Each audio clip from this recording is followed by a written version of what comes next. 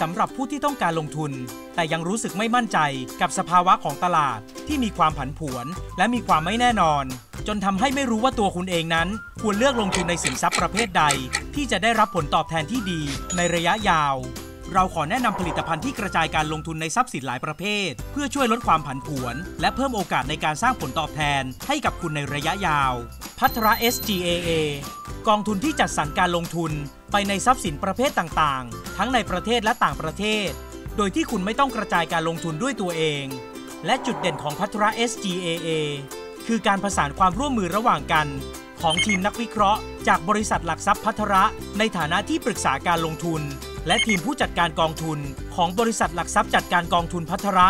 โดยทีมที่ปรึกษาการลงทุน จะเป็นผู้เชี่ยวชาญ ในการให้มุมมองภาพรวมทางเศรษฐกิจของตลาด ทั้งในประเทศและต่างประเทศ อีกทั้งยังเป็นผู้ให้คำแนะนำจัดสรรเงินเพื่อลงทุนไปยังทรัพย์สินประเภทต่างๆ ให้เป็นไปอย่างเหมาะสมทีมผู้จัดการกองทุน และนักวิเคราะห์ของบลจพัทระ จะทำหน้าที่คัดเลือกตราสารที่เหมาะสมกับทรัพย์สินแต่ละประเภท เพื่อช่วยสร้างมูลค่าการลงทุนของกองทุน